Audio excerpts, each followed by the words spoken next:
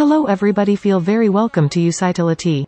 Do you know what? We are on the way to discover how to launch and play Metal Slug Infinity on your PC. As you can see now you are displaying it on your screen. We will be able to effortlessly download and set up Metal Slug Infinity so that we can play this game on the Windows PC with keyboard, mouse and large monitor. So it's time to have fun, let's go my friends. First of all mates, to get started we need to launch our favorite browser. We open the one we use by default. Let's go to this URL that I have highlighted in green color. Now, you are able to discover on the PC screen. There is no need to type anything, simply because there's the link in the video description and as well in the first main comment. We landed there on the site of Usitility, at which we include a meticulous overview on the best way to download and install Metal Slug Infinity on laptop or computer. We scroll down a little bit and mouse click on the Download Game on PC button. After clicking on this link, we reach the site of BlueStacks. No panic, it is simply the Android emulator that we are going to run to play Metal Slug Infinity on the PC. As you can discover from here we get a great deal of advantages of running this emulator. Now we are ready to proceed to download the Metal Slug Infinity by simply clicking on this button play on BlueStacks that you can see here in green color. The step is clicking on it. And the download action starts and ends immediately. Voila, here is located the download. It is a file we have to execute. The following step is to launch the executable file. Okay, then we have to click on this file. If we are on Windows 10 it will have asked us for permission to make changes to the laptop or device.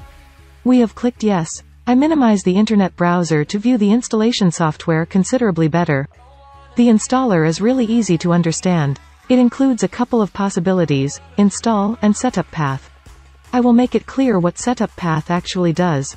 We simply just simply click on it. And we note that we have now here the path where the emulator can be placed.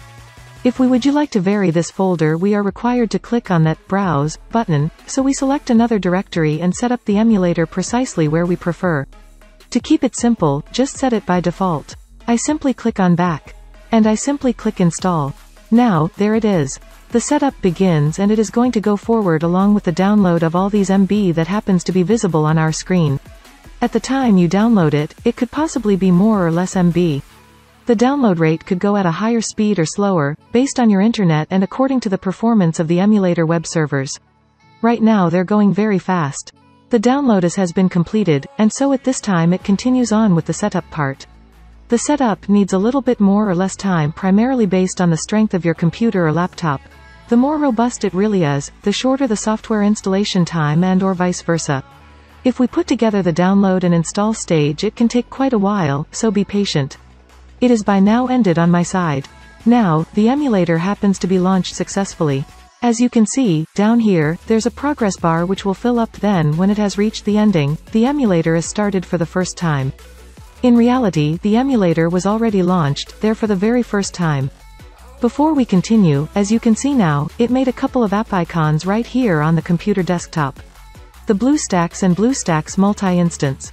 Note that the BlueStacks app icon is going to be the only one we're focused on, Anytime we choose to operate Metal Slug Infinity on the laptop or computer, we twice click that icon and as a result launch the emulator. The BlueStacks multi-instance icon has nothing to do with multiplayer or even anything at all such as that. Basically, it's an software icon that we would very likely never ever make use of. Let's perform the following step, which is actually a must-have, and which is to visit the Google Play Store. As you can discover the Google Play is started. Right here we are required to log on. At this moment as soon as we are on this page, we must absolutely perform this next phase that is definitely absolutely mandatory. Therefore simply click on, sign in. Now it shows, checking info. It may once in a while get stopped at checking info, additionally it fails to proceed. If so, you could try to connect to your account after a number of hours and it may usually be corrected. Now we're going to insert our email and password. The email really needs to be a Gmail email as well as its associated password. As an example you could use the very same email you use at the moment in your own YouTube account. So that I will submit my data and I will come back after I have completed it.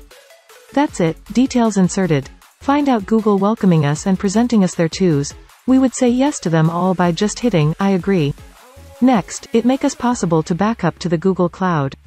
You can also keep it selected and this will make a backup of your data files on this device to Google Drive. I am not going to check it, you can make use of this option if you prefer. We click accept. Google Play is launched automatically and completely on its own. To set up the video game, we would need to browse the emulator desktop for Android by double-clicking on the icon designated in green.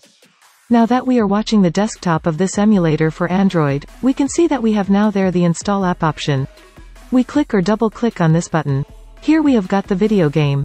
Let's then click right here on the Install choice that I am just presenting now in green color. And it will commence the setup. Presently it is going to install the game app, it can take a bit of time or perhaps it might possibly be amazingly quickly. This all relies on the connection to the web. It's as of now ended installing. Now, let's go to the emulator desktop by pressing this particular option I'm showing in green, if you want to start Metal Slug Infinity for the very first time.